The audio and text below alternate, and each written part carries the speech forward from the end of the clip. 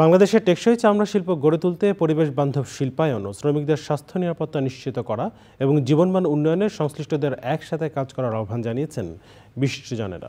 বাংলাদেশের টেকসই চামড়া খাত বিনির্মাণ, শিরোনামে প্রকল্প বাস্তবায়নে কারখানাগুলোর পরিবেশ সুরক্ষার পাশাপাশি সিইটিপি বাড়াতে পরিকল্পনা কার্যকর উদ্যোগ নেওয়ার তাগিদ দেন অংশীজনরা। মোশাহিদ রিপোর্ট।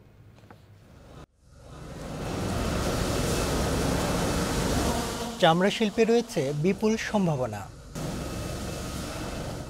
কিন্তু সুষ্ঠু পরিকল্পনা ও কিছু ট্যানারি মালিকের সিদ্ধান্তহীনতার কারণে এই শিল্পের সদ্ব্যবহার করা যাচ্ছে না। সম্ভাবনাময় এই শিল্পে অপরিকল্পিত ও সুষ্ঠু ব্যবস্থাপনা না থাকায় ঘটছে পরিবেশ দূষণ। এই শিল্পে জড়িত অনেকে বিভিন্ন রোগে আক্রান্ত হচ্ছেন। বর্জ্য ব্যবস্থাপনা শক্তিশালী না হওয়ায় বুড়িগঙ্গা সহ রাজধানীর আশপাশের নদী ও জলাশয়ের পানি দূষণ হচ্ছে। দূষিত হচ্ছে মাটি ও বায়ু। এ খাতের পরিবেশগত উন্নয়নে অবদান রাখতে প্রকৃতি ও জীবন ফাউন্ডেশনের সচেতনতামূলক ক্যাম্পেইন। উৎপাদনকারীর মধ্যে হচ্ছে গার্মেন্টস এক নাম্বার তারপরে কিন্তু দ্বিতীয় হচ্ছে ট্যানারি। এতে চামড়া খাতের প্রতিনিধি ছাড়াও অংশ নেন স্থানীয় জনপ্রতিনিধি ও সুশীল সমাজের প্রতিনিধিরা। এটা টোটাল এটাকে নির্মূল বা অথবা স্বনিয়োগ করতে আনার জন্য কাজ করতে পারে।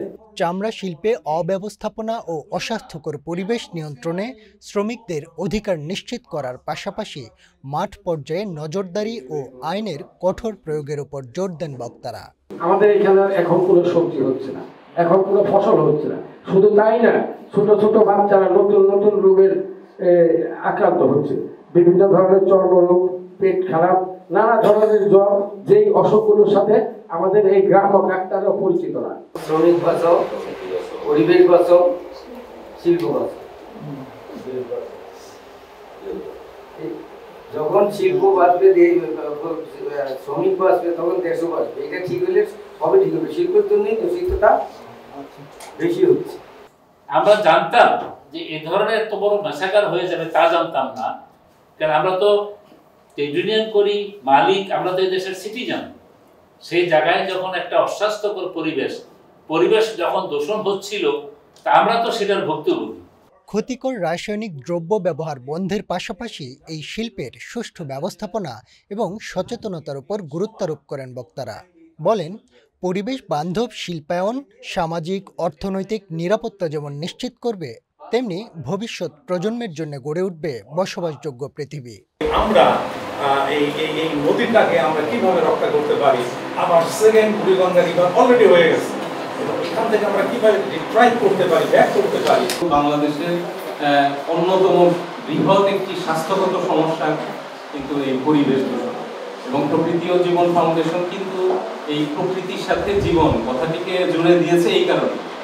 যে এই প্রকৃতি যদি নির্মল না থাকে, তাহলে কিন্তু আমরাও সুস্থ, স্বাভাবিক জীবনযাপন করতে পারব। তো সেই বিষয়টি মাথায় রেখেই দূষণটাকে আমরা গুরুত্ব দিতে চাই না কিন্তু এই দূষণ কিন্তু আমাদের জন্য বলা চলে যে অন্যতম বৃহৎ একটি সমস্যা। উন্নয়ন সহযোগী প্রতিষ্ঠান সুইস সলিডারের উদ্যোগ ও ইউরোপীয় ইউনিয়নের অর্থায়নে প্রকল্প চলবে দু হাজার ছাব্বিশ সালের মার্চ পর্যন্ত। Moshahid Roni, Channel i, Dhaka. Thank you.